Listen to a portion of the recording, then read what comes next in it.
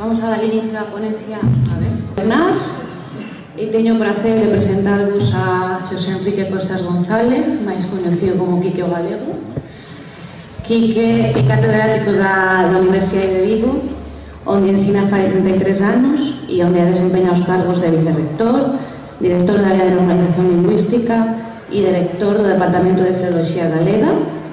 É autor de 30 libros e 60 artigos en revistas e libros especializados en lingüística e filoloxía e en 1991, ya fai 28 anos, cando descubrimos a fala, se que o prendao dos tres lugares e é un dos nosos visitantes máis frecuentes.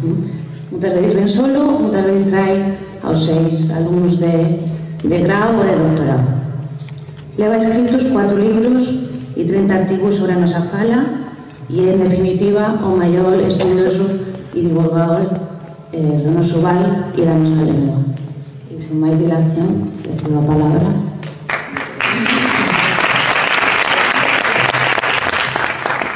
Eh, boas tardes. En primeiro lugar, estou agradecido a organización desta, destas xornás que me convidase outra vez eh, para falar dun tema que pode ser tan extenso como perigoso.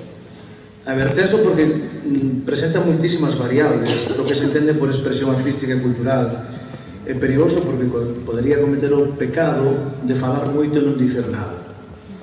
Um, por iso que vou facer vai ser dar 4 ou 5 pinceladas que demostren a vitalidade destas falas como expresión vehicular de produtos artísticos e culturais elaborados con finalidade ou ben artística ou ben de autoidentificación e divulgación cultural. Para iso farei un repaso fundamentalmente do feito nos últimos 20 ou 25 anos, que é onde se teñen producido o 90% desas manifestacións. Por expresión cultural, entendemos toda forma de manifestar a cultura tradicional empregando as falas, non? A pintura, a arquitectura, a escultura, a música ou a danza tamén son medios de expresión cultural, pero non se, non se veiculizan en fala. Nos aquí só nos imos referir a aquilo que no, no que a fala interveña.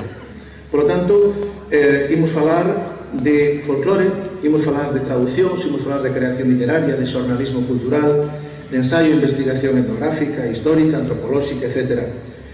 Eh, estas manifestacións forman parte da identidade inmaterial da vosa comunidade. ¿no? Dentro de, das manifestacións culturais, que son todas estas, Hai aquelas que están feitas coa fala para construir beleza, emotividade, sentimentos, humor, amor, é dicir, con finalidade estética, literaria. Son as, os que chamaremos expresión artísticas dentro do que é o conxunto de expresións culturais. Dentro dela temos, evidentemente, poesía, contos, teatro, música cantada, etc, etc, etc. Mirade, das épocas pretéritas non é que sexa expresión cultural propiamente dita, Os documentos máis antigos que coñecemos da vosa época da vosa, das vosas falas son os foros de Castelo Rodrigo. Non porque estuveran feitos aquí sino porque se sabe con certeza que unha copia exacta dos foros de Castelo Rodrigo foron os foros de Salvaleón e os foros de Vilanova. Vilanova é hoxe en Valverde o lugar que se chama Uturrión no Turrión houve unha fundación en 1287 eh, tamén tiña foros. Eran idénticos aos de Salvaleón Entón, eses, se hoxe collemos os foros de Sabaleón, hai que ter unha idea, xa nos dá unha idea de como era a fala que se utilizaba por aquí naquela épocas. Por lo menos a fala escrita, a, fala, a, a, a lingua escrita. Aí están as raíces. Entre os séculos 14 e 19 pasoulle, ou 20, pasoulle ao que lle pasou a todas as linguas da Península Ibérica, non sendo portugués. O castelán impuxose pola forza, non como dixo o rei Juan Carlos en certa ocasión, porque los, los hablantes de outras lenguas nos dimos cuenta que las nuestras eran burras, eran torpes, eran brutas, e el castellano era superior, non, o castellano non é superior a nada. Non? Entón, eh, o castelán impuxose por decretos, impuxose pola forza as artillerías, pola forza as escribas, pola forza militar, etc, etc, etc, e entón, pues, chegamos ata o século XIX en que hai algunhas linguas que empezan a reemerxer non? É a Renascença catalana, o Rexurdimento galego, eh, o Rexurdimento tamén en Asturias, etc. A xente empeza digamos, eh, na onda de, romanticismo que se estendía por toda Europa, a xente empeza a reivindicar o propio. Vale, e así chegamos ao século XX con certas reivindicacións en todas, máis ou menos en todas as linguas, e, por suposto, nas, nas vosas. Pero nas vosas, fixadevos que empezou propiamente no século XX.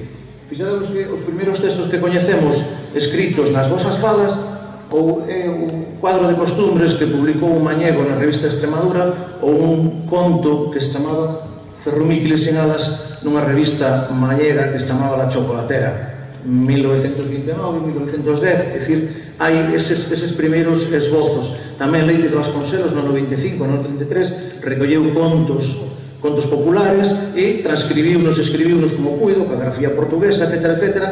E digamos que son as primeiras manifestacións escritas que temos nas vosas falas.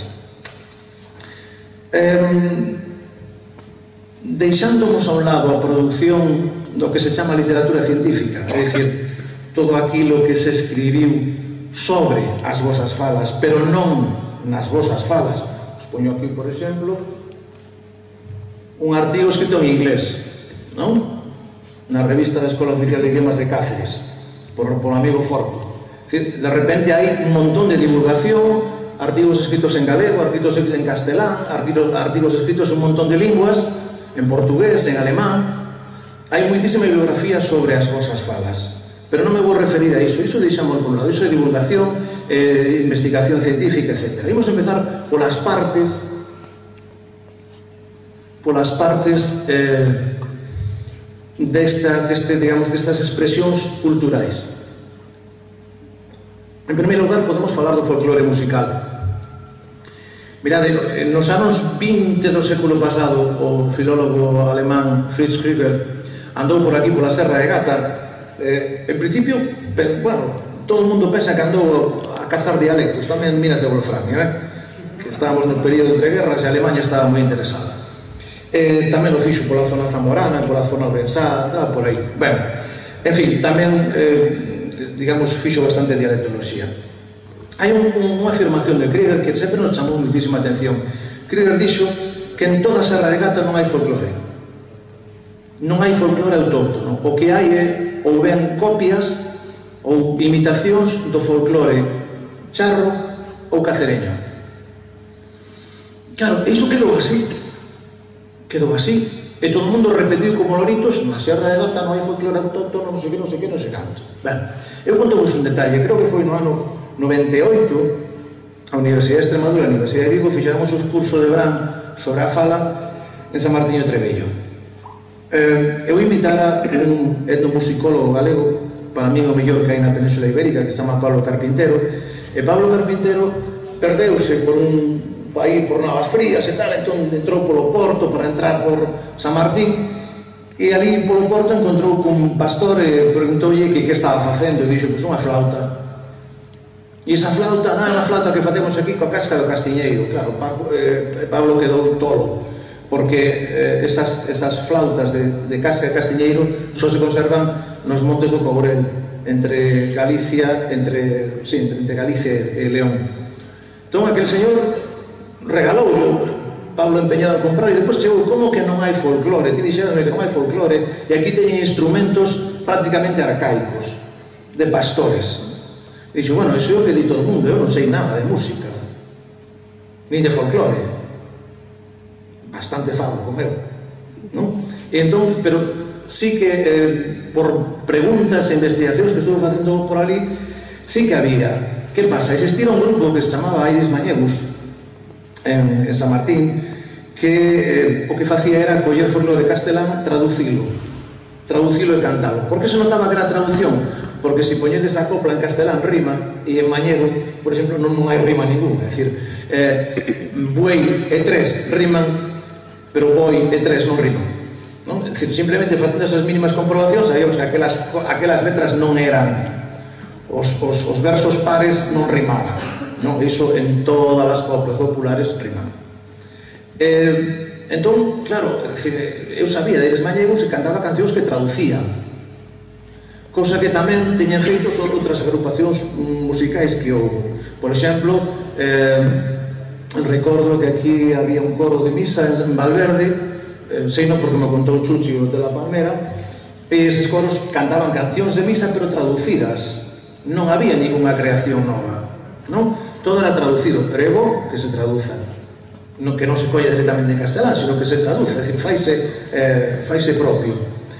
En canto ao folclore narrativo, eh, contos tradicionais, xa vos dixen, eh, había eses que recolleu leite, este que, que publicou Pérez Vidal, hai en, en revistas eh, eh como Anduriña, que é, unha, é un milagre e unha, e unha maravilla que siga existindo e que exista por moitos anos unha revista onde se publica moitísimo eh, relato popular eh, etc, etc, etc. Nos nas nosas grabacións eh, que están depositadas no arquivo do Galego Oral de Santiago de Compostela eh, temos recollido contos tradicionais de moirus, moiras, encantamentos, tesoiros, covas con serpes encantadas, pendis de oiro que se peintaban as moiras, e todo ese tipo de contos, esa toda mitoloxía existe existe. Ollo, é unha mitoloxía galego-portuguesa. Na zona astur-leonesa non hai ese tipo de mitoloxía. Vale?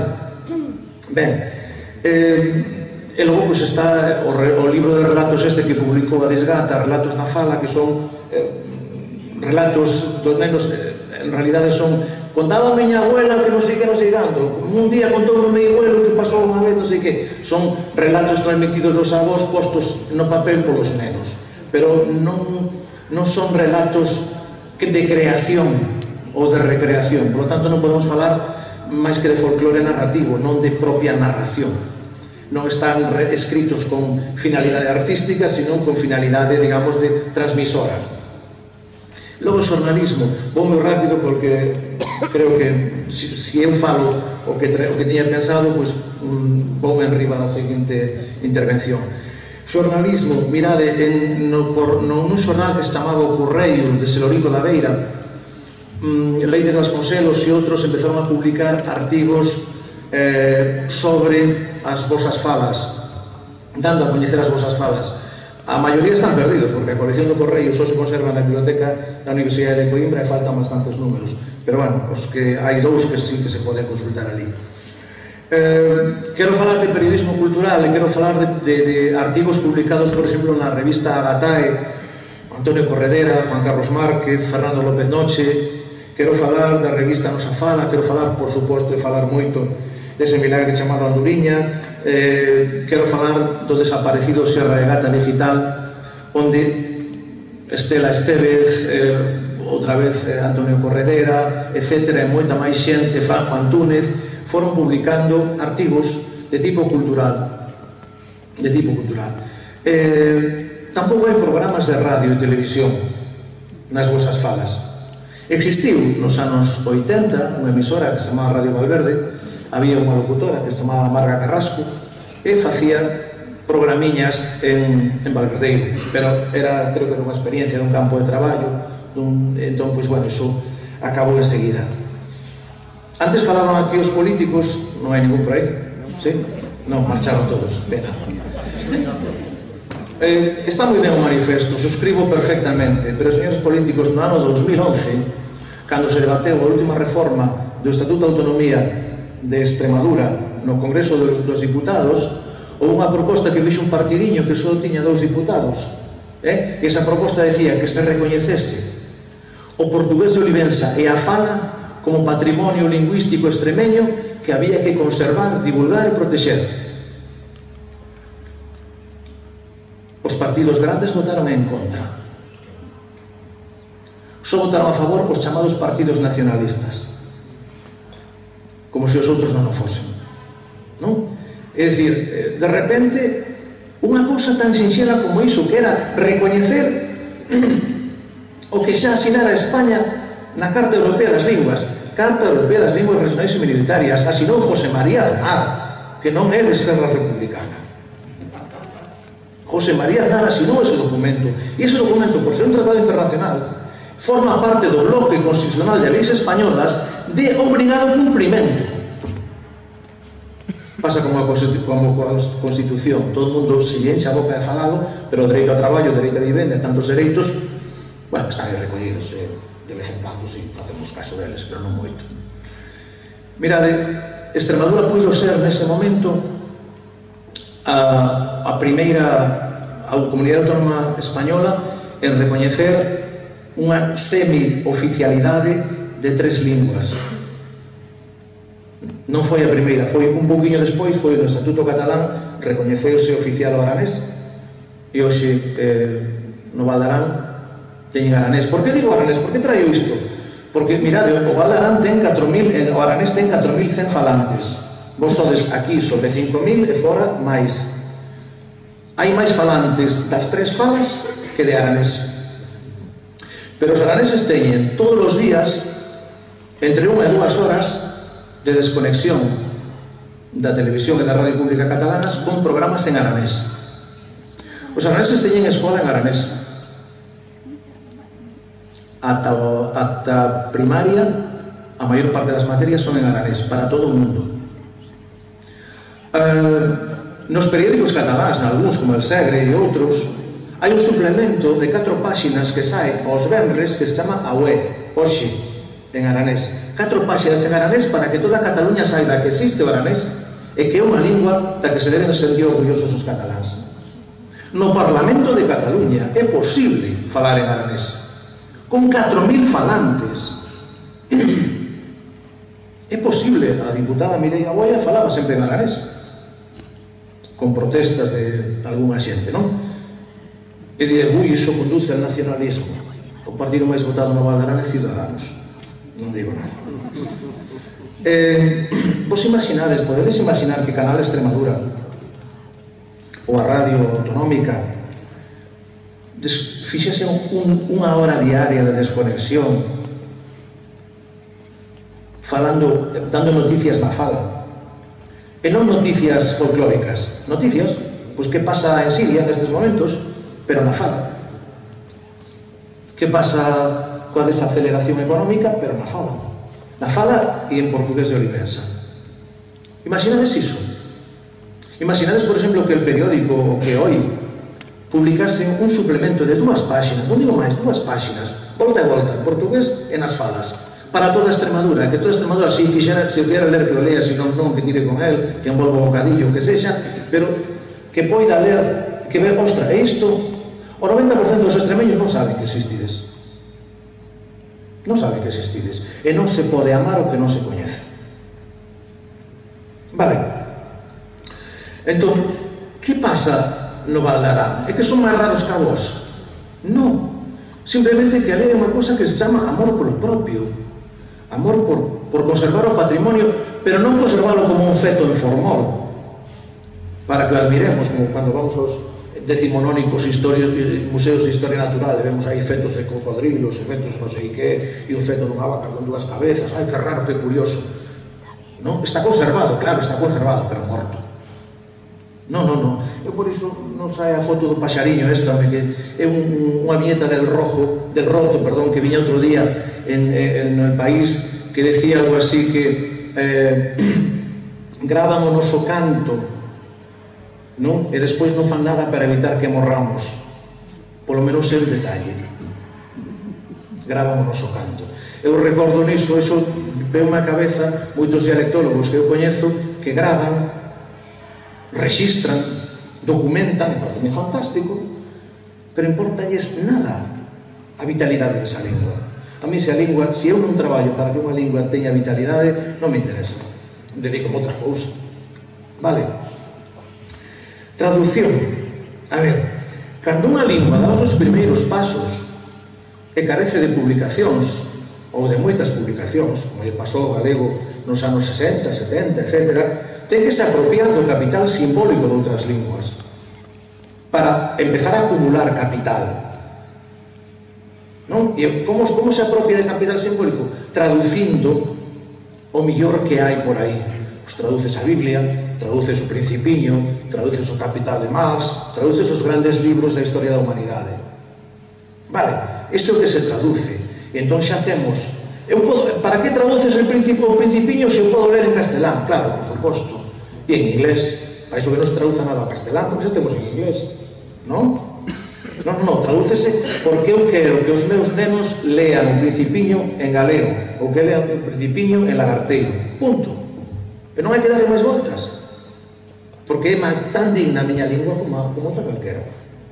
Ni máis ni menos. Mirade, eh, traducción, eu recordo que Severino López o gran amigo Severino López Lagarteiro, e tiña traducido algunhas peciñas de teatro, algunhas peciñas de teatro para representar os nenos do Colexio Divina Pastoral, ellas, estamos falando dos anos 90, alá no Pleistoceno, non? decir, entón el, el traducía e adaptaba algunhas obras, eran teatro, pezas de teatro infantil, pezas de teatro humorístico, etc., pero non sin, sin maior pretensión que ser unha aplicación escolar. En 2006 Domingo Frades empezou a traducir poemas eh, ao mañego de, do gran poeta galego Álvaro Conqueiro, que se foron publicados en Galicia. En 2014, eh, Antonio Garrido Correas, o, tradu o traductor do principi, eh, del Principino ao Castúo, eh, traduciu, coordinou a traducción do Principiño a, as falas, pero como fixo? Como non había unha norma escrita unificada, ni maneira de facelo, Naqueles momentos el encargoulle a Severino que traducise uns capítulos ao Lagarteiro, a Domingos que traducise uns, uns capítulos ao Mañego e a Pepe Barbas, Pepe Fernández, que traducise algúns capítulos ao Valverdeiro. ¿Mm? E despois, iso foi como se fixo, se colledes a edición de Principiño, hai un capítulo que está nunha das falas, outro que está noutra e así. Procurouse que estiveran equilibradas. Eh, en 2016, Domingo Frades Domingo Fades eh, traduce o Novo Testamento. Levou, foi un traballo que levou 15 anos, quixo facelo a unha lingua non que non fose totalmente mañego, pero bueno, sí, é dunha base, é de base mañega. En 2016, eh, o poeta burgalés Juan Carlos García Ruelos publica o seu libro Aire, Fuego e Deseo, de 25 cancións, 25 poemas que foron traducidos a moitas linguas, eh, houve persoas deste band que traduciron algunhas desas cancións, Franjo, Juan Carlos, eh, Maipallo, Mañego, etc, etc, o, o Lagarteiro, etc. Hai unha desas cancións, Misturaxe entre, a, entre o fogo e a noite, que foi cantada, musicada, musicada e cantada por unha cantautora mañega, Trini Rivas, e, bueno, ten en Youtube ten 10.000 descargas, que non é, non é cousa menor. É dicir, hai unha canción cantada eh, nunha das vosas falas que está por aí. É unha traducción, non é original. Perdón, no ano 2016 tamén, o 2016 foi productivo, foi unha nada proveitosa. A señora que teño aquí ao meu lado traduciu eh, unha colección de contos universais infantis ilustrados que publicou a editorial vasca Erein eran mamacabrios e de cabritos, o elefante que quería ter unha casa propia, a muller maior, Miguelito dos ollos azuis, etc, etc, etc, eran libros eh, eh, escolares para a escola, cunha dobre finalidade, dar, dar mm, presenza, vitalidade e visibilidade ás falas nas, nas escolas e ao mesmo tempo servir de eh, libros de lectoescritura, porque están como os, libros, os libros de lectoescritura para os nenos en mayúsculas e minúsculas, con esa letriña que todos tiñamos que imitar cando éramos pequenos, etc, etc, etc. Eh, foi o primeiro intento planificado e consciente de introducción da fala na escola. Esta aquí, ela é así humilde e modesta, pero para mí pareceume un logro importantísimo. Eh, tanto as traduccións de Tamara como as traduccións de Domingos non foron suficientemente convertidas e valoradas. Houve voces que criticaron o modelo de lingua que empregaron.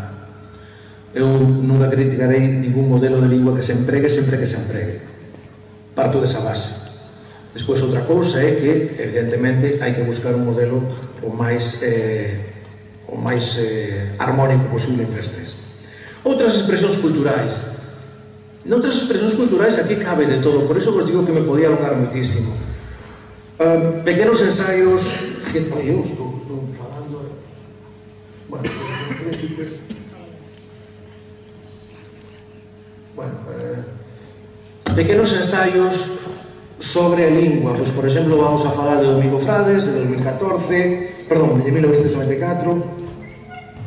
Eh, máis libros, eh, perdón. Este é un libro curioso eh, que me mandaron desde Suiza. Eh, ben, pois, eu, eu valoro e coñísimo a intención no, inda que estea en moi en desacordo coas, coas moitas cousas que se din aí, pero eu valoro que haxa xente que se meta a, a, a intentar facer cousas, inda que, na miña opinión, non estea ben orientado, pero estánse facendo cousas. Eh, a nivel municipal, pois, por exemplo, este primeiro eh, glosario, que non é o primeiro, é dicir, no ano 95, eh, Alfonso de Río, do Carballal de Valverde, regalou a min unha libreta con 3.000 palabras. Estas son 300. Eh, están publicadas nunha revista galega. Eh, decir, pero bueno, a nivel municipal fixo isto. Isto é unha tese eh, non é unha tese, un, un traballo para diploma de estudos avanzados na Universidade de Vigo, son 6.000 voces con transcripción fonética, etcétera, E logo, pois, cousas do máis común, pois, por exemplo, eh, o, o, digamos, o, o programa de festas de Valverde ou títulos de obras artísticas. Mirad, eu a primeira vez que estuve entre vos, en 1990, e levoume Domingo Frades a ver unha, unha, expos, unha exposición de produtos da Serra de Gata en Cileiros. E estando ali, eh, levoume a ver unha exposición dun artista valverdeiro, un escultor valverdeiro que se chamaba Alfonso Berrío. Entón, eu, o que me chamou a atención de entrada foi que as obras de Alfonso Berrío estaban todas en, la, en Valverdeiro Entón eu fun así de cabrón. E dixenlle, pero a ti non te dá vergüenza escribir en Valverdeiro cando aquí la gente non habla Valverdeiro non te van a entender el dixo, pois é que, é que se chaman así.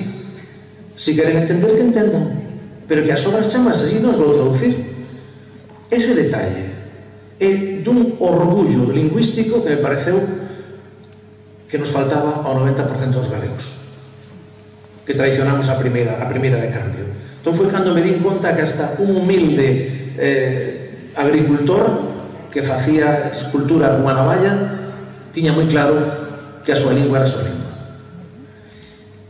Ben, eh, camisetas festivas, cartelería asociativa, libretos de festas, o menudo Hotel la Palmera, está tamén en Valverdeiro, cartelería oficial, tarxetas de Nadal que fan no Instituto Valdesárima cos vilancicos, Facebook, blogs, whatsapps, etcétera, etcétera, etcétera, mostran un orgullo cultural e identitario eh, que me parece asombroso. Mira, de 1923 estivera por aquí en Televisión de Galicia e fixe un programa eh, sobre, sobre a, a vosa fala. Entón, eh, quedoume grabado desde aquela, nunca, nunca vin aquela rapaza, aquela rapaza ahora xa será nai, será maior e todo. Unha rapaciña dos oito anos, uns ollos azuis preciosos, moi guapiña, e pregúntalle o locutor da Radio Galega E ti que falas na escola e fora da escola? E di ela na escola o castellano e fora da escola o normal. O normal. Entón, claro, o asunto era por que o normal non é oficial? Punto. Seguimos. Ah, expresións artísticas. A ver, dicíamos antes que cando se fai un uso propositadamente estético con finalidade de crear un resultado fermoso ou mover sentimentos dentro do canon literario, damos as falas unha manifestación artística de normalidade. Recoller contos tradicionais non é creación artística, é folclore narrativo, é unha mera transmisión da oralidade. Pero si temos na fala eh, creación literaria variada. E digo que para os poucos que sodes, bastante, porque hai linguas eh, con bastante, co triple de falantes ca vos, que non teñen a mitad de cousas que tedes vos. Non? Eh, a ver, non vou falar dos, dos, dos premiados nos, nos, nos, nos eh, concursos literarios ou cursos escolares, sino que, bueno, como non hai premios, non volvo a escribir. Non? Ou o mellor escribir en castelán despois. A min iso, pois pues, bueno, podía citar aquí dúcias de nomes, pero non, non me vou referir a iso eh, valorando moitísimo e emocionándome como mostrei cando, cando, ves, cando ves estes, estes tagalitos eh, ou za, eh, zagaliños eh, falando e pronunciando tamén, inda que eu como son fonetista e son un pouco maniático, observei bastantes interferencias orais. Bastantes interferencias orais. Iso significa que a fala non está na escola. Ben, eh, sigamos son maniático eh, artes escénicas e audiovisuais. Eh, Severino López, o mesmo Severino de antes, eh, creou unha peciña breve casi naif, dixérame unha vez, outra vez para a representación nas, na, dos escolares, algún festival de fin de curso e tal. Eu pedinlle, pedinlle moitas veces, pero dixo que tiña que buscalo, que tiña que buscalo, eran tres folios e tal, e nunca, nunca conseguí. Sei que sí que estaba aí. Si coñecemos os eh, seis saínetes valverdidos de Isabel de Lajas eh, son sainetes de tipo moralizante. Este unha señora, non era monxa pero prácticamente en a súa escola dominical pois, eh, ela facía pois, un, un tipo de, de, de obras humorísticas para eh, Ah, este diálogo con comadres e tal, de turma, eh, un, un tipo de obras humorísticas para, eh, digamos, eh, a doutrinar no, no sentido máis católico da palabra as, as persoas que asistían ás, ás representacións destas obras. Eh, eh en, en 1998, hai 20 anos, hai 20 anos, eh, fixemos esta edición que vos ensinaba antes, esta edición aquí trouxe en Terra Castión 60 exemplares que deixei aquí e non sei onde foron parar. Pero bueno, eu sei que os deixei aquí. Tites un? Vale, eu Bueno, en teatro, eh, ese señor que acaba de levantar a man é eh, nestes momentos o referente nos, nas vosas falas. Eh, Furio Moreno, eh, eu sei que ten unha dúcia de obras por aí escritas, ou máis, ou máis, ou moitas máis, e coñezo algunhas por cando ven na prensa noticia de que se representou apañando a dituna se faen bodas, a Maya do Castelo, este ano nos alos alafáns, etc, etc. Eu, cando vexo que, que, que furen ten esta obra. E, e vexo isto digo tampouco sería tan difícil que o Parque Cultural Sierra de Gata por exemplo, non? non sei, ou os tres concellos e sacasen 2.000 euros a Diputación que é Calerilla e fixese un pequeno volume teatro escrito nas falas ou na fala. E collero de Isabel López de Lajas se recuperamos algo de Severino de Severino ou de Fura e compilado Compilaron, porque seguramente as, as obras de Furen fixéronse no, nas eidas, non? O lagarto verde, o lagarto cómico, etc. Pero vos imaginade que, pois, por exemplo, para as festas de San Martiño que queren facer, queren representar un ali, non? Para teren o libreto. Dicir, digo moitas veces que non sabemos ni siquiera o que hai escrito. E digo que é importante visibilizar isto. Visibilizarlo. Dentro deste apartado de artes eh, audiovisuais e de representación, quero non, non podo deixar de citar a primeira curta nas falas. Durou 4 minutos, chamouse Recordos. Eh, tamén a xente do Lagarto Verde metida polo medio. Eh, en, en Youtube ten 3.300 visualizacións. Para ser un, unha curta metraxe de 4 minutos na fala, eu animo que se sigan facendo, eh, está ben, está moi ben. Está moi ben. En narrativa, narrativa, xa vos digo, eu Como publicación en libros, eu coñezo o libro de relatos breves, e son, é máis ben folclore narrativo. Ahora, en poesía, en poesía sí que tendes unha boa produción. Andaba por aí. Eh, aparte dos poemas que aparecen periódicamente ou frecuentemente en Anduriña, para min é importante este libro que saiu en 1994, pois pues mira, xa hai bastantes anos, eh, de Severino López, outra vez Severino López, eh, que siga por moitos anos, eh, que son topónimos das días que rimas en alarteiro. É dicir, son eh, historias rimadas, sempre son historias costumistas, pois pues, a matanza, a non sei que, a vendima, tal. E, es, e, de vez en cando tamén hai algún poema épico, non? Bueno, tanto aquí como fora, pois, pues, por exemplo, o himno das ellas está composta a catro mans entre eles o seu finado irmán Ambrosio, non? É dicir, eh, Severino foi, digamos, o primeiro en publicar poesía, inda que o fixera un pouco mix, non? Un estudo, un, un estudo toponímico, el todo o que tiña un, publicou e fixo ver. Porque aí está recollida moitísima toponimia, eh, non toda, dixo ele, ainda falta, pero eh, prácticamente o 90% da toponimia lagarteira eh, para os eh, filólogos é un filón, é un filón de, para estudos da lingua histórica. E aparte, é que nos proporcionou aí un montón de, de, de, de documentación, non só para os filólogos, para historiadores e tal. Hai un topónimo, eh, Tornafer, Tornafarro, Tornafarro, ah, pues Tornafarro debe ser que iban cun ferro a tornar para que as vacas eran a volta, non sei que, non sei canto. Tornafarro, Torre do Navarro, aí tendes, aí ten que haber un xacemento arqueolóxico. Pum, a toponimia é mallada, sempre. Eh, ben, En Valverdeiro, publicacións, sabemos de bastante xente que escribe. Algúnas persoas teñenme dado os seus poemas, algúns poemas, a ver que me parece. Eu digo, pois, pues, ah, pois pues, moi ben, ou mm, eu creo que non, este, pues, a verdade, a min particularmente non me di nada, pero a, toponimia, a, ah, perdón, a poesía moitas veces é un estado de ánimo, eh? tamén depende como vos colla. Eh? Eh, pero bueno, sei que hai xente que escribe e hai cousas interesantes que non, non vin publicadas por ningures. Si vin publicados, e parece unha edición preciosa, o carrego cheo de palabras eh, malverdeiras do blogueiro eh, polígrafo Antonio Corredera.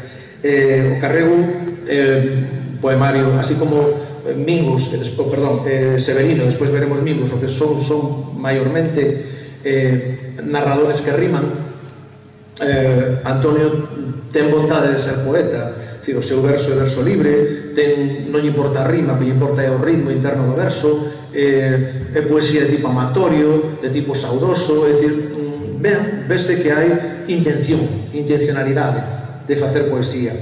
Mm, unha poesía que non sexa costumista, etc, etc, etc.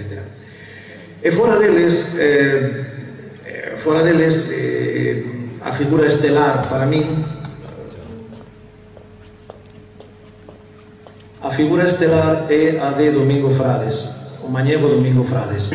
Domingo Frades empezou en 1976, 1976 a publicar este libro eh, Guillarros e Laveiras eh, son, non sei, 34 poemas en mañego con dibuxos e fotos metidas por medio facíase en ciclostil no Concello, según me dixo el facíase ciclo de Chile, grapábase e entregábase e regalábanse aos amigos. Non era un libro propiamente dito con ISBN e todo iso. Era simplemente eh, feixes de poemas grapados para os amigos. Eh, un ano máis tarde publica Dito e Feitos e outro ano máis tarde publica Versos de un verán, que xa son 34 poemas eh, bueno, long, bastante longos. O máis importante, eh, bueno, non teño o, es, o máis importante publicao máis tarde que é o libro Callejeiro Mañero que é un libro rarísimo. El colle unha rúa de San, de San Martín e vai na andando e vai describindo aquí vivía fulano que fixo isto, aquí vivía fulano unha vez este, este, este fixo esta historia aquí nos xutábamos os rapaces a, a xogar o zapiti, a non sei que, a non sei que, non sei canto vai retratando todo San Martín por dentro pero non retrata as rúas, non retrata os prohombres, non sei o gesto, nin Dios, nada. Retrata os paisanos, os seus veciños, as súas veciñas, as que fan biscochos, as que fan non sei que, o que vai ao campo todos os días, o que ven coa múa, o que ven non sei que, non sei canto, os labores do campo, tal. El retrata todo iso, de unha maneira, son 29 poemas, algúns longuísimos, como de 15 ou 20 folios, follas, porque está publicado así en libro, Callejeiro mañeiro. Eh, hai tres ou catro anos, Alicia Manso e eu acordamos xuntar todos os poemas que coñecíamos en Domingo Frades. Hai algúns poemas máis que, que, que os que recollemos nós porque non nos deron autorización para, para reproducilos, algunhas persoas en particular, algún poema que lle fixo algún amigo, sabemos deste, mira, este poema que lle fixo amigos, deixanos, no, bueno, xa está, non pasa nada, non? pero eh, digamos que todo o que foi publicando e algúns máis que nos pasou Pili Tellez, etc., están, están aquí recollidos. Fixemos unha edición que vai publicar a editora regional extremeña, non? do goberno da, da Consellería de Presidencia, que pasa que levamos tres anos con maquetacións, correccións e mil cousas, porque, claro, metemos iso, meteño o corrector en castelán e dinamitan todos os versos, claro non? E entón, pois, eh, temos que andar a, enriba diso e tal. A ver, Mingos, igual que, que Severino, eh, son máis que poetas, son narradores ou prosadores que versan. Eh, excepto, excepto e aquí sí, eh, media dúcia de sonetos. O soneto é poesía culta. O soneto hai que medilo, hai que pesalo, hai que rimalo. Non é unha broma. Non o fai calquera.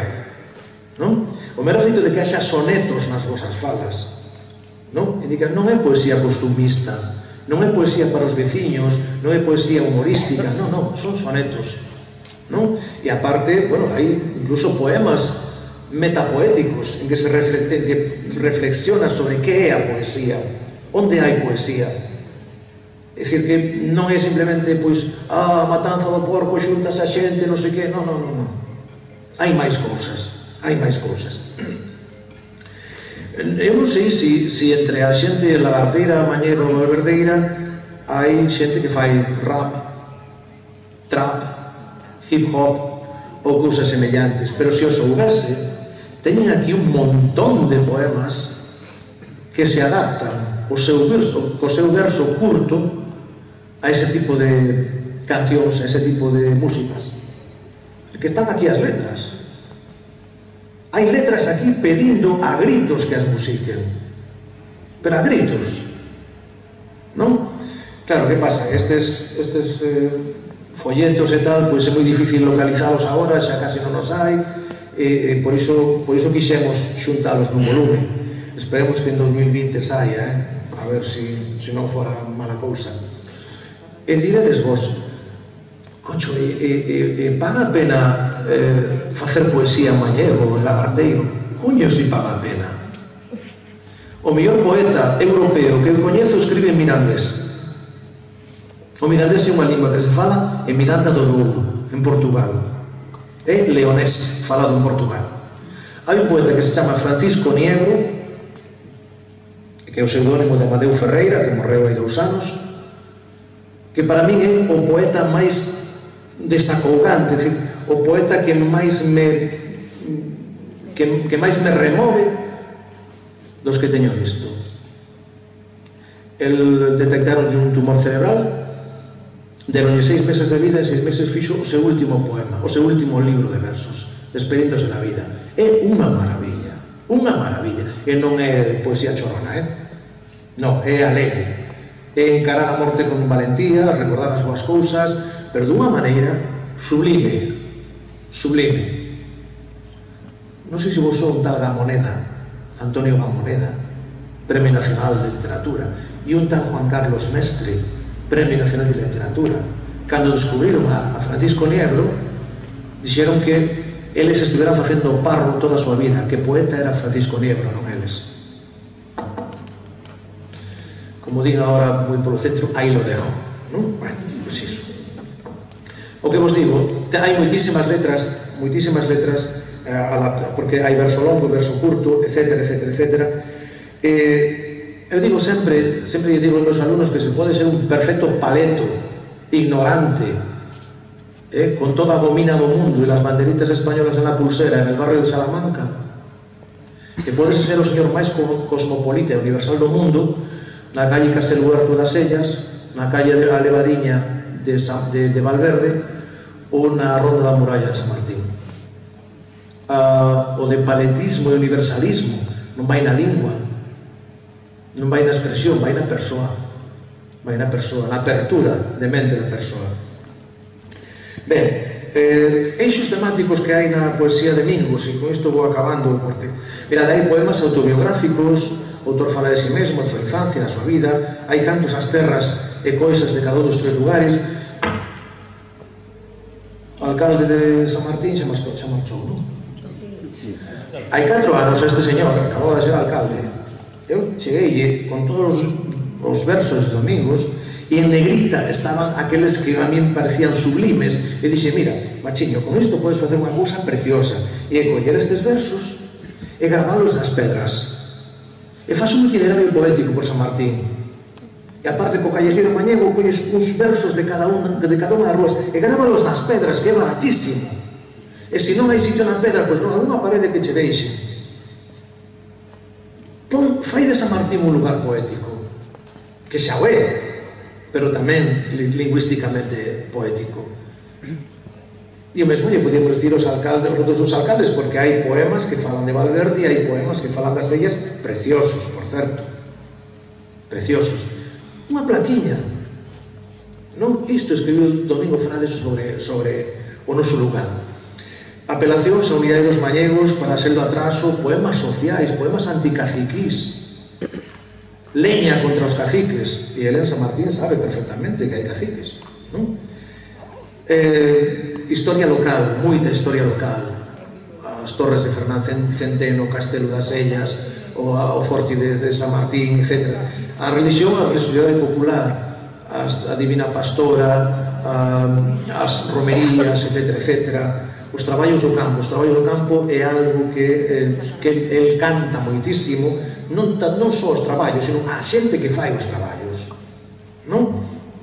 A vendima, a importancia da auga, a importancia da auga, eh, a convivencia dos veciños, os xogos, a matanza, a gastronomía, Ah, etcétera, etcétera, etcétera, etcétera. Incluso hai cantos as boigas impresionantes. Mm. A boiga universiai, por suposto que universiai, vaya clases teño recibido eu aí. Moito mellor que moitos anos de carreira. De gratis. Eh, hai moito humor e moito amor polo, polo seu lugar, polo seu macondo particular. Para el, San Martín dos Viños como lle chama sempre, é o centro do mundo. Nunha das dedicatorias introductorias, boa Camargo, é eh, xa, di, hemos ter en conta todo dos nosos antepasados, analizar ben o presente e melloralo, e pensar en deixar un futuro máis próspero e humano para os nosos fillos. Este é o sentido e radón fundamental destes traballos, un deseo de entendimento e unidade de acción. Ben, eh, como para final, E acabo, digo, mentras as falas se manteñan nun estado non oficial, sen recoñecemento estatutario, legislativo, a súa diversidade dialectal formal, ontolóxica, ortográfica, morfolóxica, resulta simpática, naif, está ben, non? Deliciosamente inxenuo. Pero se as falas aspirasen algún día a, a entrar na administración, a que fose válido redactar un testamento na fala, tan válido como é en castelán, como podemos os galegos. Eu non sei por que os galegos sí e vos non. Eu o testamento teño en galego. Eh. Vas ao notario, punto, xa está. Non es que es menos válido, non. A hipoteca da casa, pois teño en galego. E por que non podo tela en galego?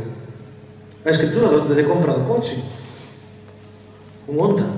O concesionario onda fixo un papel en galego. Coño que tiña que ser normal. Podes facer en galego ou en castelán, que ben, podes, podes coller. Ahora, non, en galego non o podes facer. Teño liberdade de escolla, non? Ben, pero para iso ten que haber un, un modelo unificado. Ten que haber un modelo unificado. Así entenderon os sardos, os romanches, os vascos, os mirandeses, etc.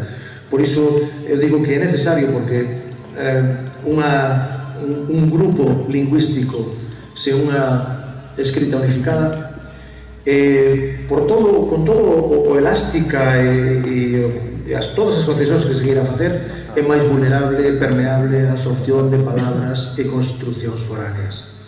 Por iso, alegrome que no manifesto se faga por fin, a ver se si é posible, un chamamento á institución científica que vos corresponde, que é a Universidade de Extremadura, para que abra unha vez a mesa de traballo onde estean representantes dos falantes institucións e especialistas. Esa sería a única maneira de, de, de que esta, isto que vos pedides o manifesto, é dicir, poder entrar na escola que se fixe con garantías. Eh, iso non, non quita, ollo, estamos na produción literaria, hai moitos, nós temos norma desde o ano 81 en galego, e hai moita xente que sigue escribindo como lle dá a gana letteratura todo secondo, eh, eh, licenza literaria, non pasa nada. Ora, eh, nun libro de biología ou nun artigo de prensa, pues non. Non, hai que dar outra imaxe. Ben, eh, eh, quixera, antes que nada, ah, poñervos algúns, algúns exemplos non? aquí do Castelo das Ellas que agora que creo que, que están reconstruindo polo menos restaurando eh, pois bueno, aquí hai algo Eh, sobre a fala, esta fala dos maiores e multidoiros, parroquiaria especial, un fidoiro, un millón, millón de historias para este lugar, este contra os caciques, non? Eh, señores eran chamados por espíritus escravos. Eh, este, por exemplo, eh, o primeiro prestas a rapear, intenta de rapearlo, vai, funciona. Eh, o chozu eh, logo ten algún tipo de poema que se escapa xa non versifica, xa non rima sino que se vai por libre e a mí pareceme maravilloso. A nosa terra como se fora un niu feito, feito poitito a poito por páxaros sagrados non? a súa reivindicación mañega evidentemente pero fixadevos por iso cultivo a fala que esta terra me ata a mí a fala sempre presente. E remato con isto. El recoñece que Valverde ten que ser o lugar onde fala toda a reivindicación destas falas. Isto escribiu no ano 77. Vale? Bueno, máis nada. Gracias.